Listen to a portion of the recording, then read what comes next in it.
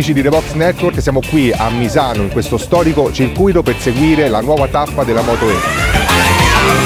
È ovviamente 100% elettrica ma non pensate che non sia emozionante guidarla ragazzi. Questa eco corsa va da 0 a 100 in 2,8 secondi e può raggiungere una velocità massima di 270 km h e una coppia di 200 Nm. È super divertente, stiamo andando molto ma molto più forte di quello che noi addetti ai lavori ci saremmo mai aspettati, addirittura in Austria più forte delle Moto 3, non ci stiamo togliendo niente, stiamo andando forte e ci stiamo divertendo come si fa di solito con le moto normali. Insomma ci sono tutta una serie di messaggi che devono passare e che sono simili a quando dal telefono fisso siamo passati al telefonino. In questo momento siamo alle spalle dell'Ipaddock dove i tecnici stanno facendo gli ultimi ritocchi in vista della gara di oggi pomeriggio. Questa invece alle mie spalle è una Juice Pump, è l'unità di ricarica fornita da Enelix, partner della Moto E, che serve a ricaricare le moto da corsa tra una sessione e l'altra del fine settimana. Noi non forniamo solamente un'infrastruttura di ricarica, noi forniamo tutto un ecosistema, perché in Moto E forniamo gli, i caricatori, forniamo i container che ospitano i caricatori e forniamo gli trolley che sono dei power bank da portare in pit lane e starting grid per alimentare le termocoperte. Dopo le qualifiche di ieri in cui Alex De Angelis ha conquistato la pole, in questo sabato si svolgerà la prima gara, ore 16 tutti in pista.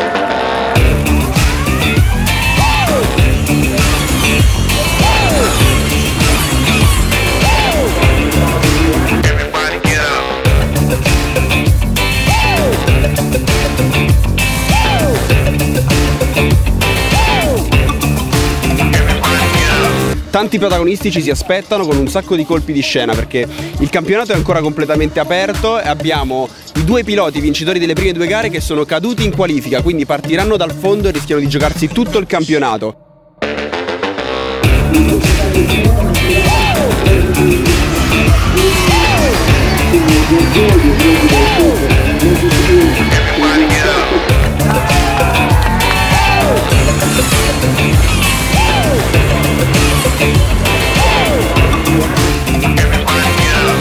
Volta che vedevo qualcosa del genere ed è assolutamente una bellissima esperienza da fare. Per noi questo qui è un banco di prova importantissimo perché se riusciamo a dimostrare di essere bravi qua, riusciremo a dimostrare tra due anni di essere migliori sulla strada.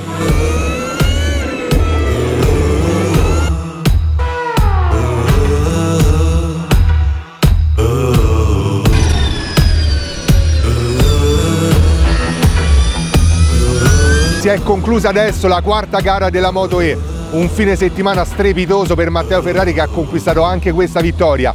Il pilota rimenese adesso allunga ancora di più nel campionato, peccato invece per Alex De Angelis che nonostante la pole è caduto anche in questa tappa.